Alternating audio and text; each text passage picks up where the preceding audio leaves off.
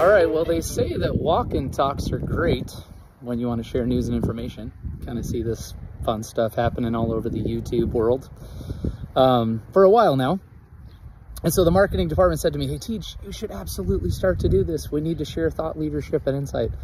The real risk here is not that we're not going to give you good insider information, but that I'm going to trip while recording this, which would actually make it a lot more entertaining. Um, but, well, for those of you um, that have followed Otava or The Notice, my name's TJ Houske. Um, fortunate in this season to be the Chief Executive Officer uh, at a really incredible company. Really enjoy who I work with and what we do. Um, it's a lot of fun. Um, but what's going on in the industry right now relative to the news around Broadcom and VMware is a little bit less fun.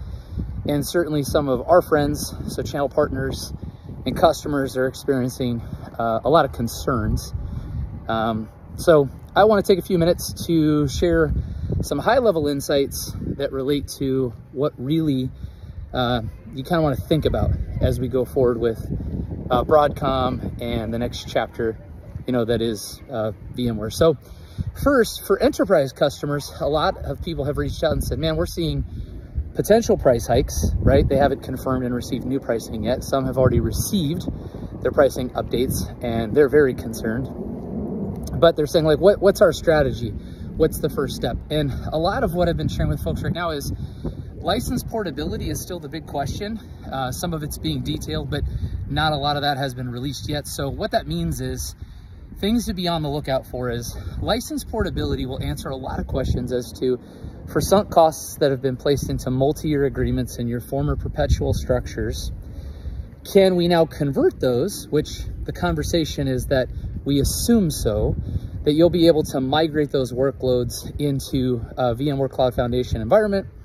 Um, and as such, you could offset potentially some of the go forward costs Certainly the same benefits for cloud exists by moving those workloads from perpetual or on-premise into cloud architectures. Um, you're able to reduce the risk of capital, um, support costs dramatically shift because you're putting it at the resource level of that individual provider. Um, and then of course you get to skill up. And I think that's the other part that you want to be thinking about is being forced to adopt the VMware Cloud Foundation isn't necessarily a negative thing, albeit if the prices are aligned properly because you get to participate in the newer cloud product and the technologies. But what some customers are seeing the big struggle with is they don't have the right skills to support that. And so that kind of comes with item number two.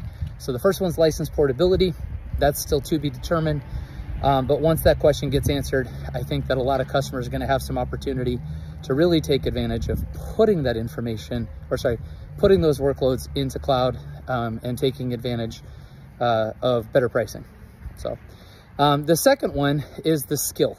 Uh, we recognize that a big concern for customers says, hey, okay, I'm going to be moving into, you know, VCF now.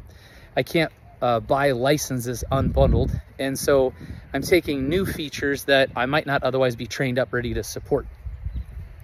That's where I think a huge advantage is with a cloud partner, particularly in this season, is that uh, for companies like Otava, and there's many of us out there, um, we have an opportunity uh, to participate and support customers in that.